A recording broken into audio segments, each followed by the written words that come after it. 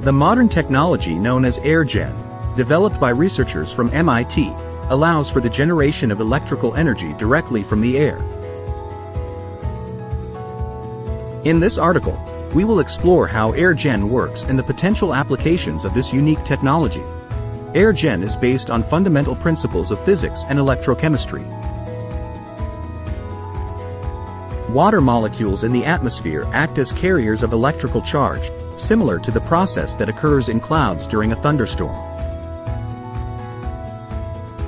Nanopores in the material used in AirGen enable water molecules to move between the upper and lower layers of the material.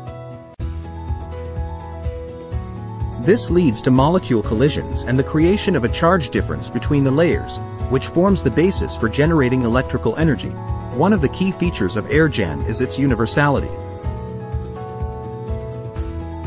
It can be created using virtually any material capable of producing nanopores smaller than 100 nanometers. This adaptability allows the technology to be tailored to various conditions and needs.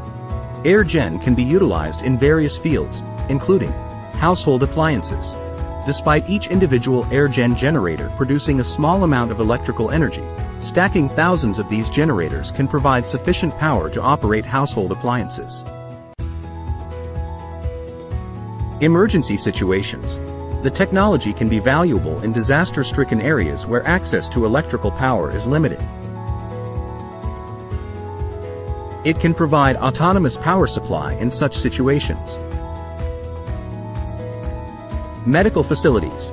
AirGen can be employed in medical facilities to ensure additional energy for medical equipment.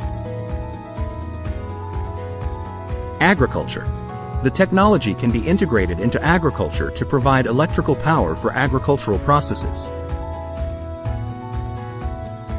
Telecommunication infrastructure. AirGen can be used to supply electricity to remote telecommunication stations. The AirGen technology opens up new prospects for obtaining electrical energy from the air.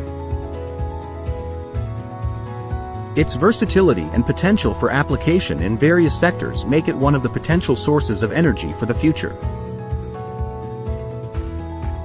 This technology can play a significant role in enhancing the resilience and reliability of energy supply in diverse areas.